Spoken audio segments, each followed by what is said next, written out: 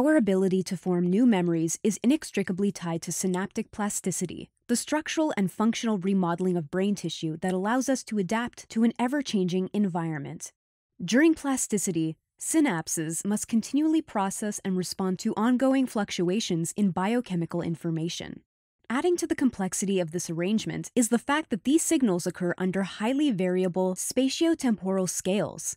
How do neurons perform such complex calculations? Researchers from the Max Planck Florida Institute for Neuroscience report that a specific isozyme, a protein kinase C known as PKC alpha, may be the key. The PKC family of enzymes has a long established critical role in synaptic plasticity.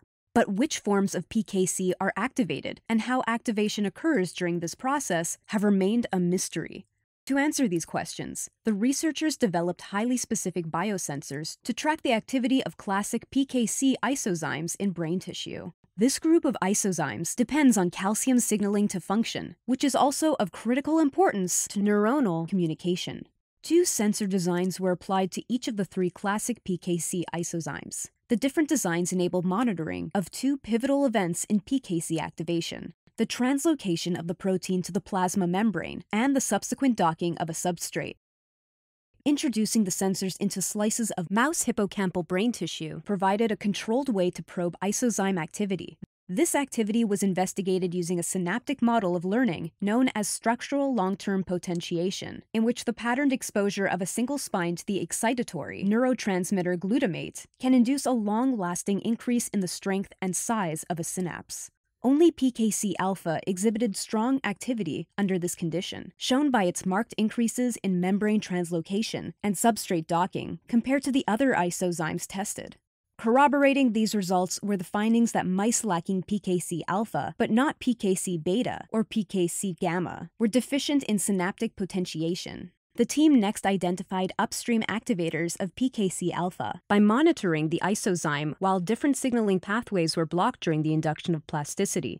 They found that PKC alpha responds to two unique pathways. Remarkably, these pathways show order of magnitude differences in spatiotemporal signaling.